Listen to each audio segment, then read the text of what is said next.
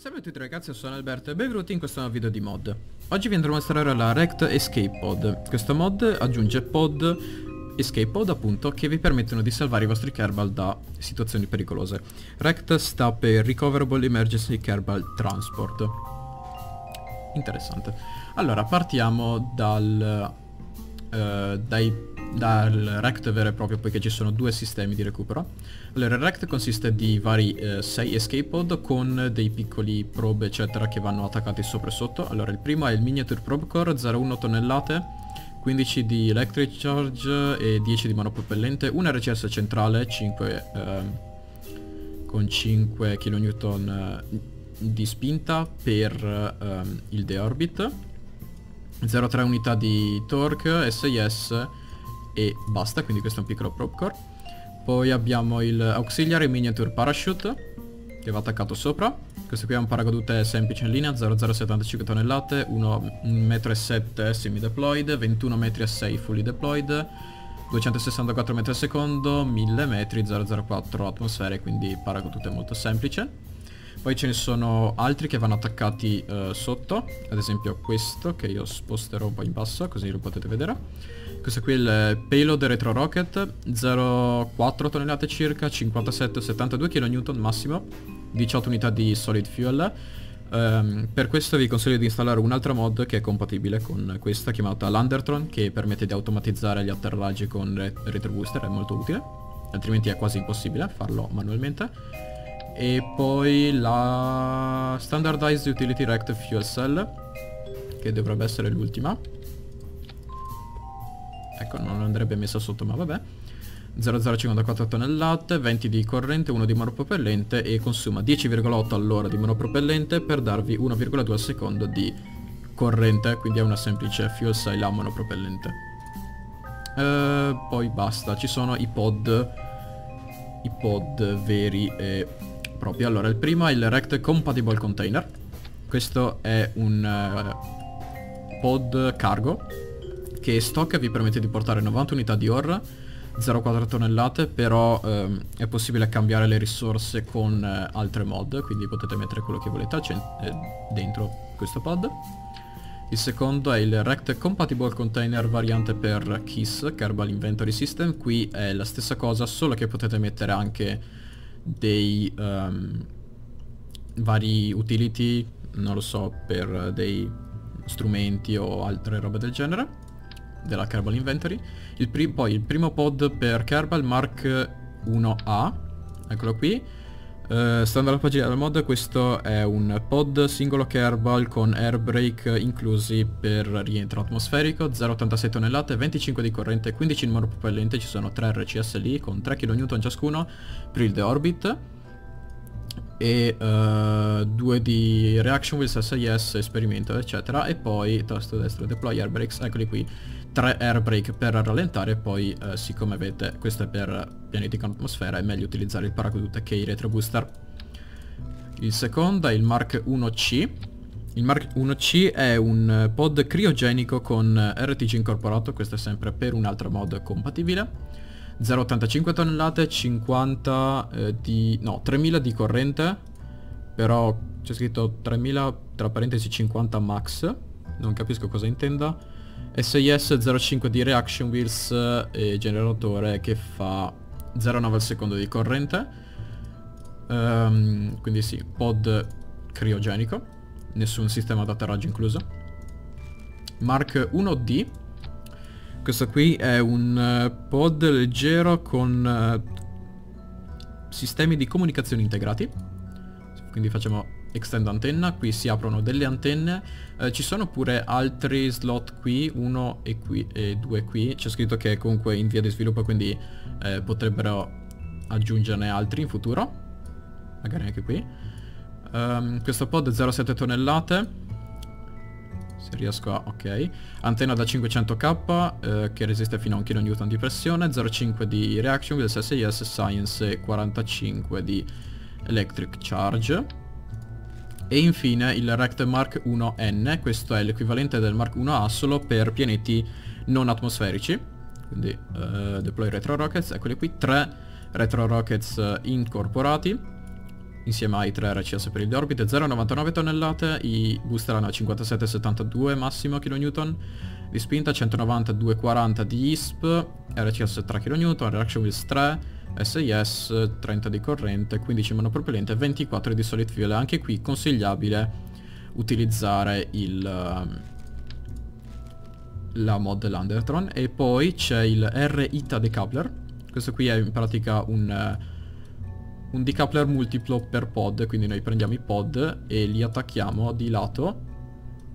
Se riesco a girarlo, ecco, 1, 2 e 3 ha dei decoupler incorporati da 80 oppure se volete ci sono anche dei decoupler radiali per sempre i pod con 100 invece kN di um, cioè 100, sì, 100 kN di um, ejection force. E per quanto riguarda il rect è tutto. Poi abbiamo il OTAV o Orbital Transition Atmosphere Vehicle.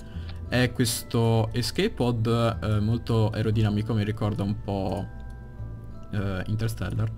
E ha una massa di 1,63 tonnellate, eh, ha un solo posto, 006 di docking port, la docking port si trova qui sopra il, eh, il finestrino, 03 eh, di lifting, di lifting surface, 4 unità di reaction wheels, purtroppo non ha niente che produce corrente, dovete tenerne conto, 80 di uh, electric charge, 45 lead fuel, 20 monopropellente, 55 oxidizer.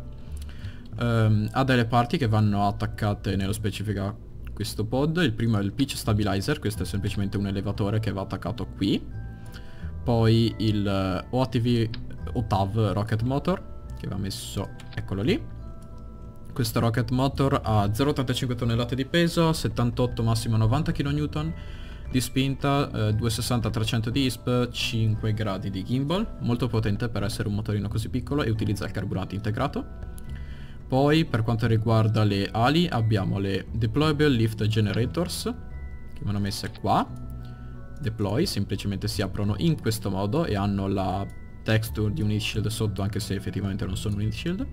E qua sopra abbiamo due possibilità, possiamo mettere o l'air deploy, che è un semplice air eh, singolo, oppure mettere lo stabilization equipment, che invece consiste di fin, due fin verticali più un air centrale. Personalmente preferisco questo, anche se immagino abbia meno, eh, diciamo, crei meno drag dell'altro, spero, perché altrimenti è un po' inutile. Uh, quindi fatemi mettere questo, bene. Chiudiamo qui.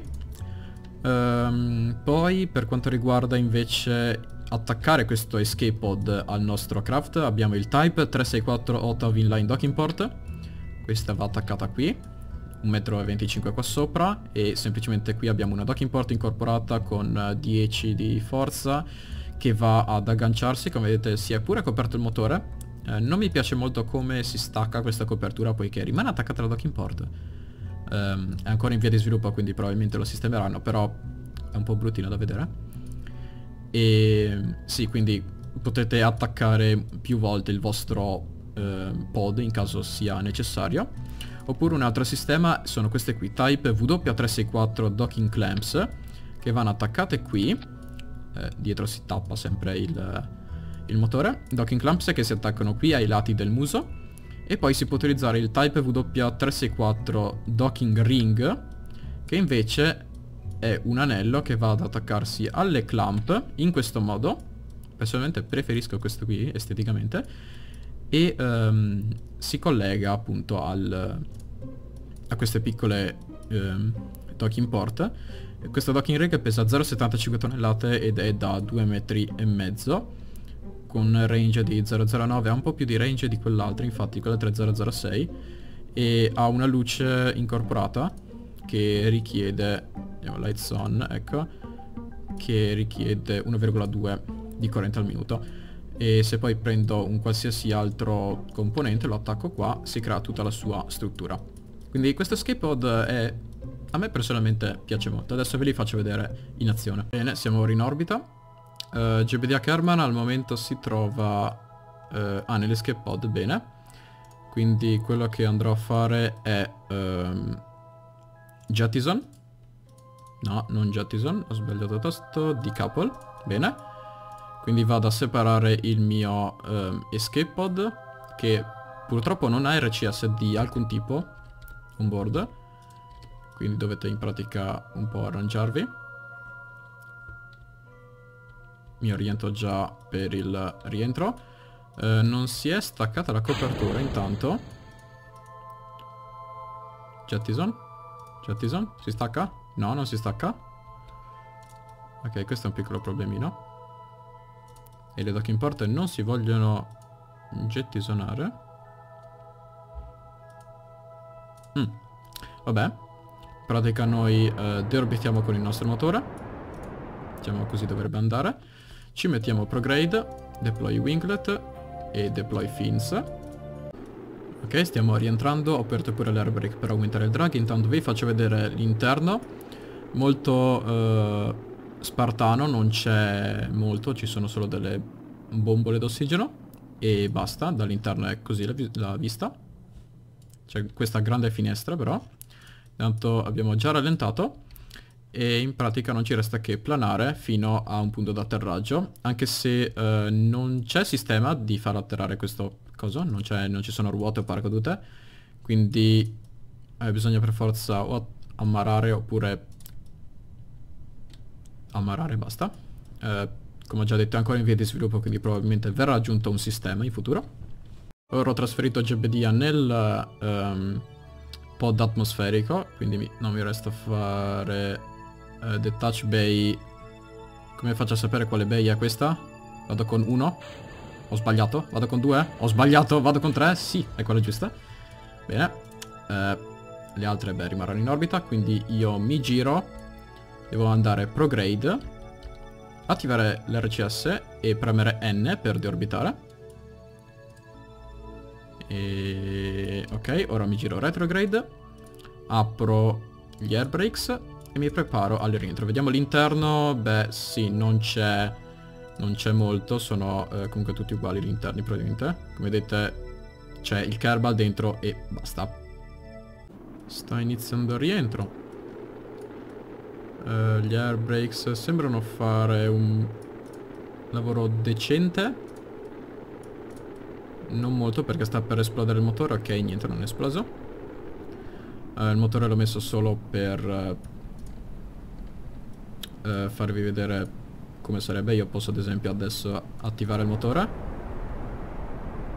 e rallentare di molto. E ovviamente siccome è motore solido fermarsi completamente eh, al momento giusto sarebbe un po' difficile. Questo comunque è il paracadute standard. Andiamo già un finché non si apre. Molto lento ad aprirsi. Però non è, non è male esteticamente. E quindi stiamo scendendo adesso a 7 metri al secondo verso la salvezza in pratica. Quindi, un saluto dal team di Carvel Italia da Alberto.